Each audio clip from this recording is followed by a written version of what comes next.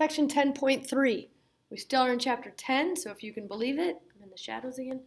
We are still talking about circles and arcs. Minor arcs, specifically, are congruent. Pause it, write this down if you have a packet. If and only if their corresponding chords are congruent. If and only if their corresponding chords are congruent. So in taking a look at that circle, Notice we don't have a center anymore. Without a center, we don't have a central angle. Without a central angle, we don't have congruent arcs. But we can know that those arcs are congruent if their chords are congruent.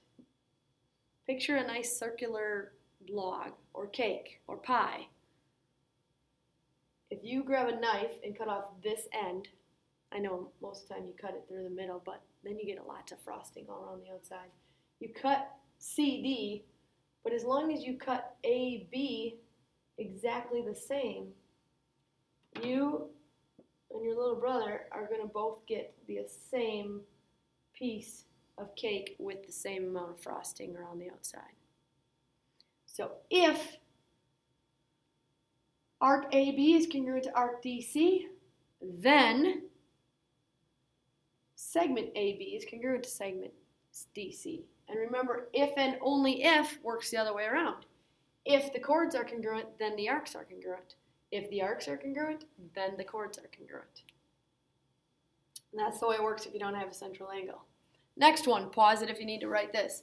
A diameter is perpendicular to a chord if and only if, there it is again, you can abbreviate it IFF, if and only if it bisects the chord and the arc. If the diameter bisects the chord and the arc, it's perpendicular. Take a look at this drawing. Picture paints a thousand words. You've got this drawing. You have a circle. You know that it's a diameter. You can see there that I threw a center in there. It's only a diameter if it goes through the center. If it doesn't, it's just a chord.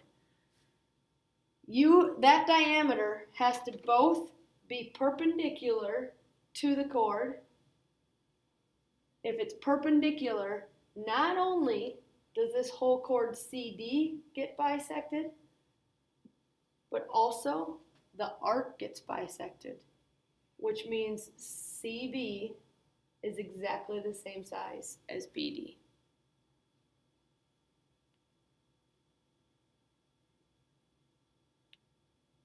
Want the same size cake? With the same amount of frosting all around the outside, cut the diameter right through the middle of the cake first. Then slice that piece off.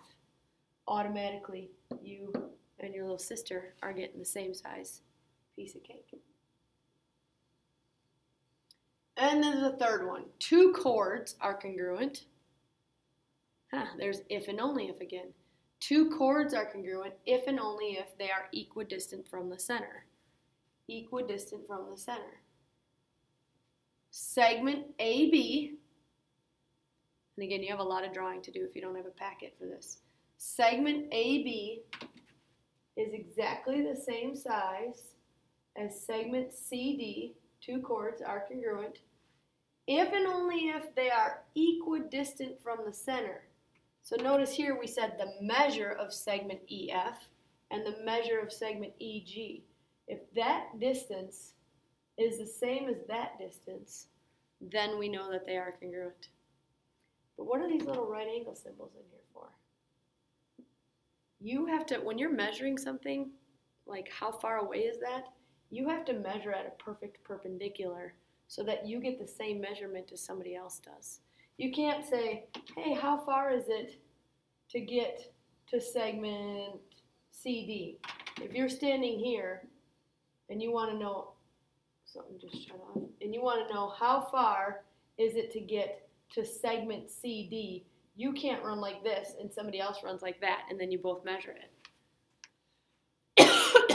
when you are measuring distance between a point and a segment or a line, you have to run or measure at a perfect perpendicular so that everybody measures it exactly the same.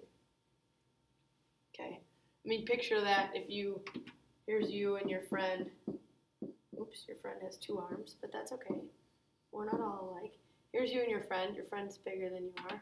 And you're standing here and you say, I'll race you to the lake. Last one in's a rotten egg. And here's your lake. Okay, if you're going to race to the lake, you're not going to run like this to that part of the lake while your friend runs to this part of the lake. You're going to run at a right angle and beat you there every time. So whenever it says equidistance or you're measuring a distance to a, a length, a segment, you have to make it 90 degrees. Makes sense. All right, remember all of these are if and only ifs. So this one works backwards. If they told you that the arc and the chord were congruent to each other, then you could make the perpendicular line. If they told you the arcs were congruent and the segments were congruent, you can put in the perpendicular because it's if and only if. Same thing here. If they told you the arcs were congruent, then the chords are congruent. If they told you chords are, then arcs are. So that's all you got.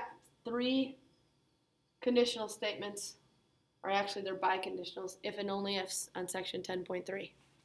You will have to apply them to how they work on homework.